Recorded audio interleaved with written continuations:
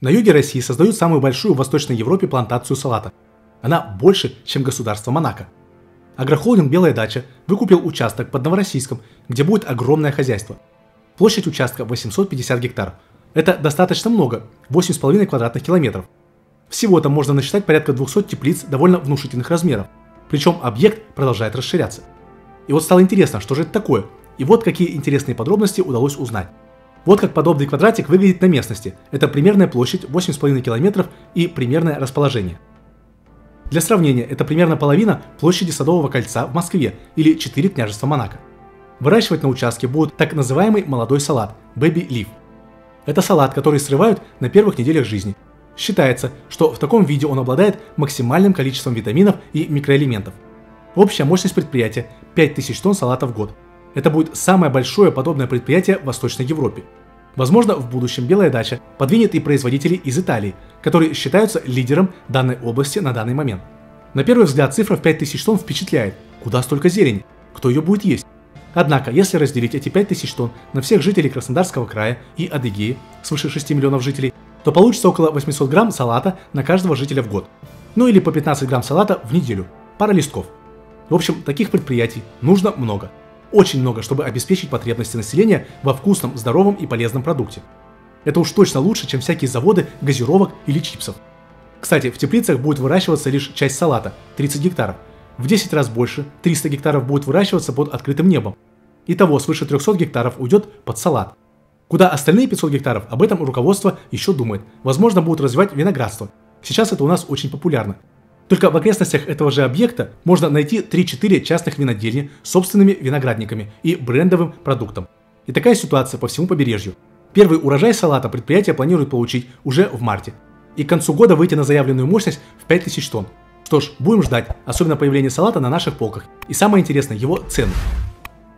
Также хотелось бы перечислить самые интересные события из нашей агропромышленности, которые произошли за последнее время – Например, в Северной Осетии открыли новый селекционно-семеноводческий центр. 23 января в Республике Северная Осетия Алания состоялся запуск важнейшего импортозамещающего проекта в российском картофелеводстве. Дан старт работе Северокавказского селекционно-семеноводческого центра. Предприятие, оснащенное самым современным технологическим оборудованием, будет производить микрорастения и мини-клубни оригинального картофеля, выращенные по технологии in-vitro – Мощность селекционно-семеноводческого центра компании FatAgro составляет 1 миллион штук микрорастений и 5 миллионов мини-клубней в год. Комплекс включает производственную и диагностическую лабораторию, зону оздоровления клубней и тепличный модуль. Предприятие ведет селекционную работу совместно с ФИЦ картофеля имени Лорха. Уже созданы высокопродуктивные сорта Садон, Спринтер. В перспективе здесь будут производить порядка 40 тысяч тонн в год свободного от болезни элитного семенного картофеля. Это позволит повысить уровень самообеспеченности отечественных аграриев посадочным материалом, заменив импортное сырье. Новый комплекс позволит обеспечить 20% потребности России в семенах картофеля. Также первые 10 гектар фруктового сада были высажены в поселке Тепличное ЛНР. Начата реализация закладки крупнейшей в Луганской Народной Республике фруктового сада на базе аграрного фонда. Высажено первые 10 гектар. Высадка саженцев стартовала в ноябре Деревца привезли из Рассашанского питомника растений, который является одним из лучших питомников Воронежской области.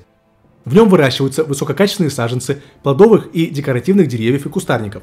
В этом году планируется высадить саженцы яблонь, груш и слив разных сортов на площади 50 гектаров. Всего будет высажено более 26 тысяч саженцев. Все сорта зимнего использования – зимние, ранние, зимние, ранние и позднезимние. Сад начнет плодоносить через 4-5 лет. Закладка будущего сада производится с соблюдением комплекса агротехнических приемов, на вооружение агрономов и спецтранспорт для подготовки почвы, что существенно ускорит процесс. В рамках программы приобретены не только саженцы, но и сельскохозяйственная техника, системы капельного орошения, горюче-смазочные материалы, удобрения, садовый инвентарь и даже оборудование для обустройства инфраструктуры. Также новые территории России завершили уборочную страду. Это весомая добавка в закрома нашей Родины – Например, в Запорожской области собрано полтора миллиона тонн зерновых, убрано свыше 500 тысяч гектар полей. 20% урожая погибло в результате обстрелов с сопредельной территории и поджогов. Херсонская область. Собрали около полутора миллионов тонн ранних зерновых культур. Для аграриев в Российской Федерации предусмотрены всевозможные виды помощи, в частности обеспечение горюче-смазочными материалами, удобрениями, доступными кредитами и субсидиями. Луганская Народная Республика. С момента образования этой республики сельхозтоваропроизводителями впервые намолочено более 1 миллиона тонн зерна ранних зерновых и зернобобовых культур, что позволит в полном объеме обеспечить потребность республики в продовольственном и фуражном зерне. В Сватовском, Станично-Луганском, Беловодском, Старобельском и Марковском районах намолочено более чем по 100 тысяч тонн зерна. Максимальная урожайность по группе ранних зерновых и зернобобовых культур получена в Новоайдарском, Марковском и Беловодском районе. Донецкая Народная Республика при урожайности 29 центнеров на гектар намолочено 689 тысяч тонн зерна. Благодаря работе хозяйств, в том числе с новых территорий, было собрано на 80% больше зерна ранних зерновых и зернобобовых культур в сравнении с 2021 годом. ДНР обеспечена пшеницей и ячменем, а также имеет возможности экспорта этих культур. Внутренний спрос на муку и хлебобулочные изделия закрывается своими предприятиями. На данный момент в регионе 34 хлебопекарни. Плодовый сад одного из агропромышленных предприятий Волновахи прирос новыми площадями за счет переданных из Ставропольского края саженцев. Об этом сообщили в пресс-службе Министерства аграрно-промышленной политики и продовольствия ДНР. У предприятия «Экопрод», расположенного в Волновахе, есть яблоневый сад. Сейчас им привезли новые саженцы из Ставропольского края, благодаря чему была увеличена площадь сада. Всего высажено 4 гектара яблонь.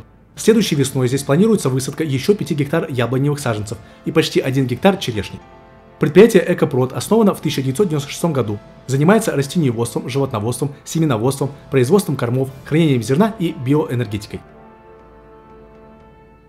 Друзья, рекомендую вам подписаться на наше сообщество ВКонтакте и Телеграм. Там мы публикуем аналитические статьи, видео, сводки боевых действий и многое другое. Ссылки в описании под видео.